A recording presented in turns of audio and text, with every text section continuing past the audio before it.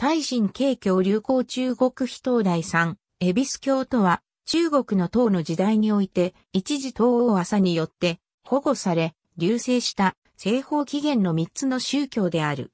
東大三、恵比寿教とは、の三宗教を指している。このうちゾロアスター教が南北朝時代にまず中国に伝わり、ついで東大に入りネストリウス派キリスト教とマニ教が伝わる。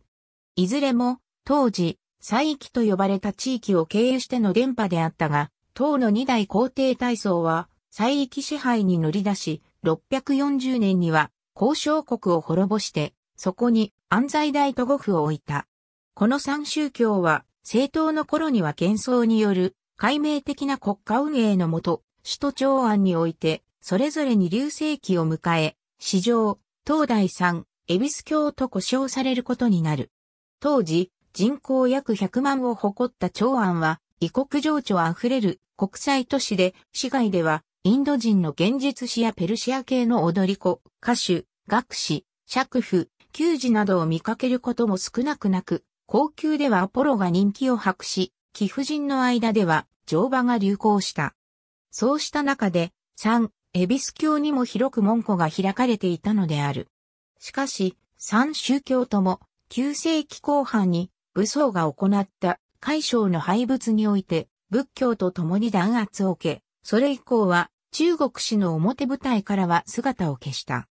ただし、その影響は様々な形で後世に残り、特にマニ教は、明、清代に至るまで、社会の中で隠然たる影響力を持ったとされる。以下において、中国史の中におけるそれぞれの歩みについて概説する。ゾロアスター教の守護霊、プラバシトン皇室土の県境の女神像ペルシアのザラスシトラが総称した二元論的宗教、ゾロアスター教の起源は古く、紀元前6世紀にアケメネス朝、ペルシアが成立した時には、すでに王家と王国の中枢をなす、ペルシア人のほとんどが信奉する宗教であった。紀元前3世紀に成立したアルサケス朝のパルティアでもヘレニズムの影響を強く受けつつ、アフラマズダーへの信仰は守られ、皇族するサーサーンアサでも国境とされて王権支配の正当性を支える重要な柱とみなされた。ゾロアスター教は火を崇拝するところから廃化教とも呼ばれた。ゾロアスター教が中国に伝来したのは5世紀の頃とされている。交易活動のために多数のイラン人がトルキスタンから現在の甘粛省を経て中国へ渡り、そのことにより当時東西に分裂していた河北の北州や北西に広まった。信者は相当数いたものと思われ、東大には、教団が存在し、その取締役として、札宝、札はじめないし、札保がいたというが、その意味の詳細は不明である。隋や唐の時代になると、ペルシア人やイラン系の西域出身者が、札宝は一つの官職と認められて官位が授けられ、ゾロアスター教寺院や礼拝所の管理を任された。首都の長安や楽陽、あるいは、敦煌や領州などといった都市に、寺院や祠が設けられ、長安には5カ所、落陽には3カ所の祠があったと言われている。しかし、ゾロアスター教徒は中国においてはほとんど伝道活動を行わなかったと言われる。県教の信者は多くの場合、ペルシア人や西域出身者であったが、当初は対象の商人が多数を占め、後には党に亡命政府を樹立したサーサーン朝からの難民などが加わったものと思われる。県境は14世紀頃まで海風や鎮江などに残っていたと記録されているが、その後の消息はつかめていない。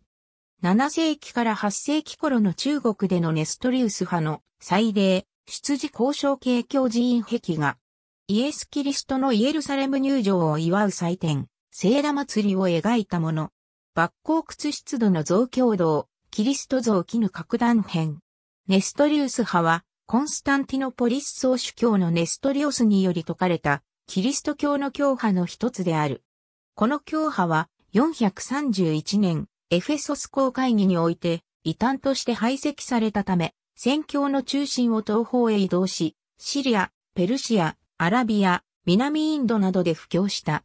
中国へは、体操の時代の635年に、ペルシア人司祭、アラペン率いる一団の宣教師によって伝えられた。体操は、その宣教を許し、三代、高層の時代になると、アラペンは、陳国大保守という高い地位に封ぜられ、地方の州にも刑事を立てるよう消直が下された。中国では、慶教と表記されたが、慶教とは中国語で、光の信仰という意味であり、慶教教会は当初、ペルシャ寺の地に、大神寺の名で各地に建立された。慶教はまた、ミシア教とも呼ばれ、いよいよ屍か、いよいよ瀬か、いよいよ質かなどの字が当てられた。大神道交渉慶教の聖堂付近で出土した、絹角断片、上部にロバに乗り手に十字杖を持つキリストと一人の女性信徒が描かれ、聖、枝節を描いたものと思われる。出自交渉系教寺院壁画。当初、唐の朝廷は皇族も含めた支配層が戦費や郷土などの北族的要素を濃厚に有したこともあり、慶教や仏教など非中華地域由来の宗教に対し、寛容でこれらの信仰を保護した。698年、高僧の皇后であった武則天の仏教変調政策により一時衰退したが、旧代、元宗の時代には、ネヨであった利権ら五王が参拝し、庇護されるようになった。742年には、元宗が大将軍で宦官であった高力士に命じ、高僧、元宗ら五大皇帝のご神栄を寺に安置させ、また木の百匹を賜って祀るように指令しており、745年には大神国から構想として知られる基地よりが長安を訪れた。元宗はアブラハムやパウロと称される17人の神職に命じ、ゲワルギスと共に、京喜び宮において、慶教式の大法営を執行させた。このような幻想による、慶教保護には、慶教による王権の権威づけといった意図も考えられる。ネストリウス派は、8世紀後半の大宋の時代にも庇護された。このような流星を受けて、12代、特捜地下の781年には、有名な大神慶教流行中国碑が建立されている。県教とは異なり、慶教には多数の中国人信者がいたことが判明している。慶教は当初ペルシア人によって伝えられたものであることから多分にペルシア化したキリスト教であったが、漢訳慶教経典も依存していることから、その教義の全貌も解明されてきている。それによれば、慶教は仏教や同化の言葉も採用し、さらに皇帝には中を、親には公を解くなど、儒家の要素もあって、多分に中国化している。しかし、東大末期の845年には、18代皇帝の武装による海将の廃仏など、東王朝を伝統的中華王朝に位置づける意識が強まって弾圧の対象となった。ネストリウス派は、不況によって後にモンゴル帝国を構成することとなる北方の遊牧民にも広がり、チンギス・カン一族の中にも、また、カンカの陰族にあたる諸子にも熱心な信者を獲得し、元の時代には再び、中国本土でも広く信者を得た。金港や甲州、揚州などでは街道も開かれた。しかし、モンゴル帝国中枢の諸集団は、西方ではイスラームとトルコ系言語を受容してトゥルク化していった一方、東方ではチベット仏教を厚く信仰し、これを保護したため、ネストリウス派の信仰は次第に水亡、消滅していった。漢字によるマニ教経典資本、漢字句、尺寸、26cm×150cm 等の改元19年3世紀にペルシアのマニによって総称されたマニ教は諸教根校の平和的ないし普遍的な世界宗教として当初は西方へやがて東方へと信者を増やしていった。マニ教はパルティアからサーサーアン朝にかけてのギリシアローマ、イラン、インドの文化の接触と交流の一産物とみなすことができ、西はメソポタミア、シリア、小アジア、パレスティナ、エジプト、北アフリカ、さらにイベリア半島、イタリア半島にまで、東は中央アジア、インド、そして中国にまで伝播した。中国には694年に伝来し、マニ教ないし、松ニ教と恩赦され、また教義からは民教に宗教とも表記された。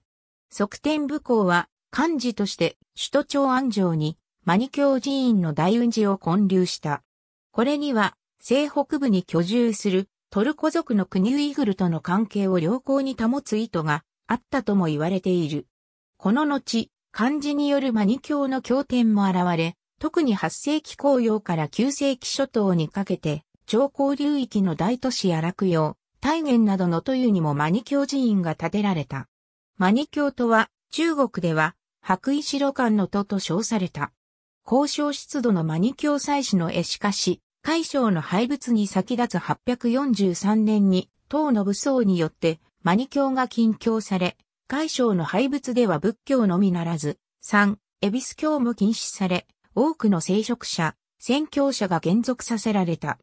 そうした中にあって、マニ教の僧侶の中から多くの殉教者を出していることが、当時、唐にあった日本からの留学造園人の日東具法巡礼行記に記されている。ウイグルにおいては、8世紀後半の三大ムーカガンの統治時代にマニ教が、やがて反マニ教勢力の巻き返しによって弾圧を受けたが、8世紀末から9世紀初頭にかけての七代懐新火岩によって再び国境化された。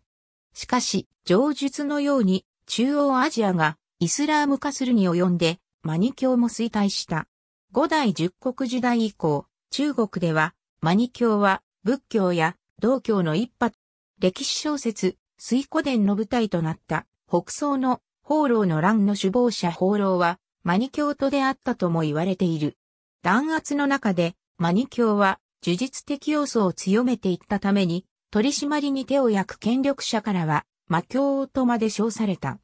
関係によるマニ教取り締まりは、しばしば、江南地方や四川でなされており、その中で、マニ教信者は、吉祭島の輩とも呼ばれている。現存する唯一のマニ教寺院と目される、信仰師の草案マニ教寺仏教に固くされた女神マニが祀られている。宗教に寛容な元朝においては、民教すなわちマニ教は、福建省の泉州と浙江省の雲州を中心に、信者を広げていった。民教と弥勒信仰が集合した白蓮教は、元松に黄金の乱を起こし、乱の指導者であった主元省が建てた、明の国号は民教に由来したものだと言われている。しかし明王朝による中国支配が安定期に入ると、マニ教は危険視されて厳しく弾圧された。15世紀の段階で、すでに強制の衰退著しく、ほとんど消滅したとされてきたが、秘密結社を通じて19世紀末まで受け継がれた。1900年の北進事変の契機とな、現在、唯一のマニ教寺院が福建省振興市に現存し、中国政府により国家重要文化財に指定されている。3、エビス教以外で西方に起源を有し、東大に中国に伝播した宗教としてはイスラームがある。中国では精神教と呼ばれ、モスクは精神寺と表記され、また当時勃興したイスラム帝国は退職と表された。後にウイグルの人々が多数イスラームに改宗したことにより、イスラームを海教ないし、海教とする表記も広まった。イスラームは中国全土に広く伝わり、言語、形質等の点で漢族と共通するイスラーム教徒、いわば漢族のムスリムは、海族として中華人民共和国の少数民族の一つとして認められている。現在、海族は中国全土に広く分布しており、その人口は2000年時点で約980万人とされ、中国領内のムスリム全体のおよそ半数を占めている。また、海風には、宋代から19世紀末にかけて、ユダヤ教徒のコミュニティが存在していた。詳細は開封のユダヤ人を参照。県教に関するカテゴリー、慶教に関するカテゴリー、民教に関するカテゴリー。ありがとうございます。